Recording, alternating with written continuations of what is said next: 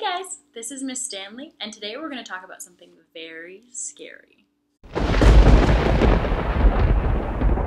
Your essential question for today is What is magical realism, and how can I identify it in the texts I read?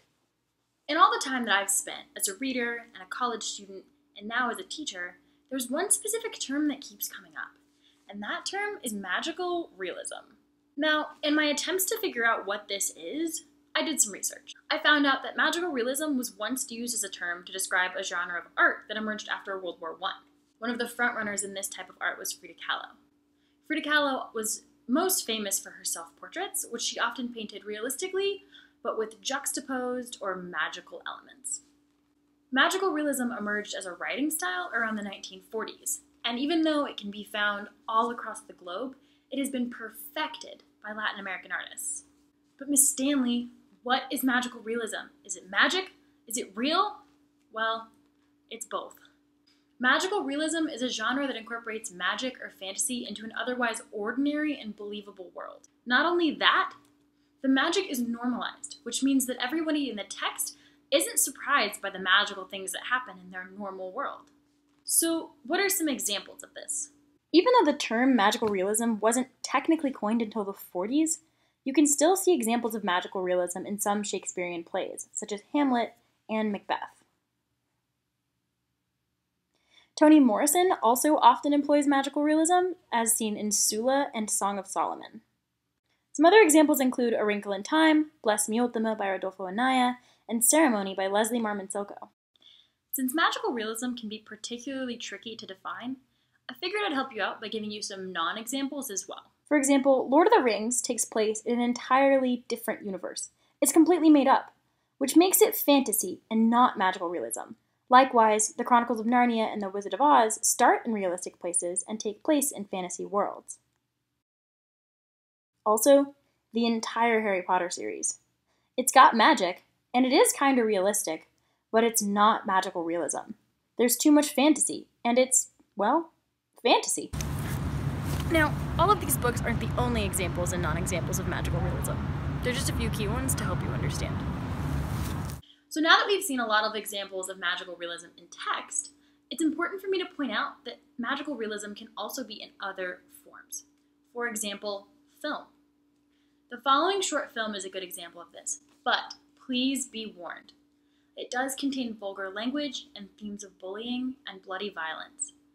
It is intended for junior and senior classes who have mature eyes and ears. If you want to skip this video, please feel free to do so. Now, get ready for the birch.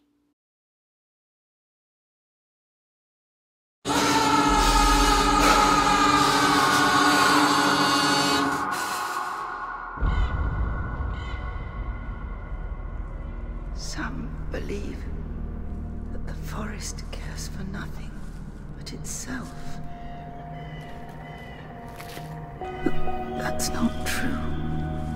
If you listen carefully, you can hear its voice. Its tortured heart can feel our pain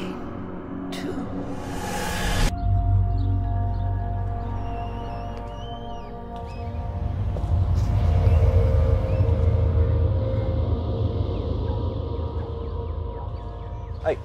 Oh, whoa. All right, pig boy. Hey, hold on, talk to me, talk to me. Hey, hey, hey, I just want to chat, I just want to chat. You fucking scared for eh? Hey, you crying? Are you crying, boy? Crying in, piggy. When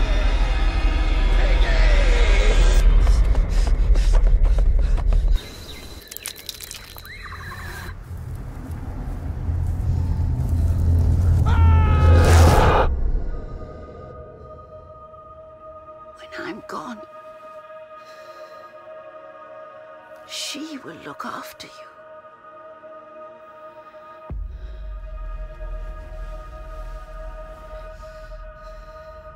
Protect you,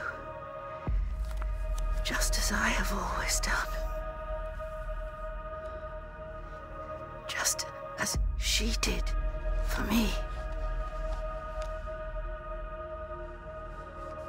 Look for her. mark in the forest.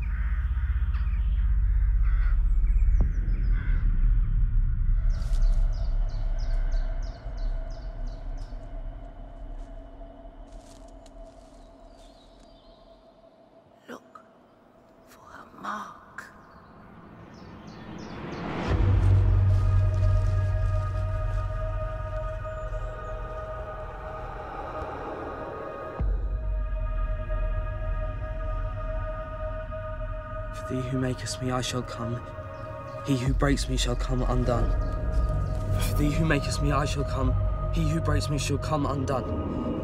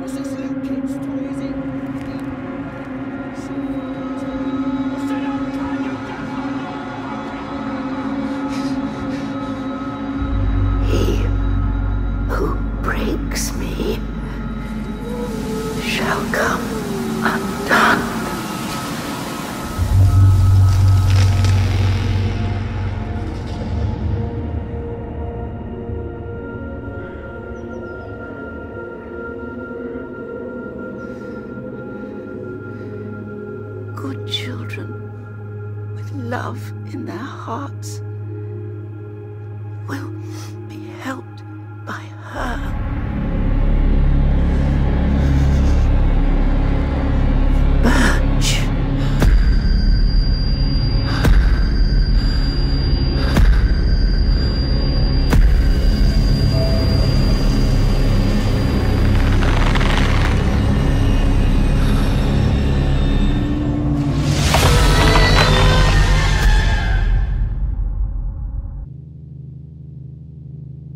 So, this film shows us that magical realism can exist not only in film and text and art, but also that it can be blended with other genres, such as fiction, historical fiction, and even horror. This is really important because the blending of magical realism with other genres can make it really difficult for you as a reader or viewer to define it in a text. So, in order to defeat the magical realism monster, remember these two characteristics of magical realism. First, there is a presence of magic or fantasy, but the world in itself is otherwise normal or ordinary. And even though you, as the reader, might find the magic strange, the characters within the text are not surprised by it, and they accept it as part of their everyday world. Congratulations! That's all it takes to defeat the magical realism monster. Thanks so much for watching, guys. And if you have any questions, feel free to email me at teachingwithstanley at gmail.com.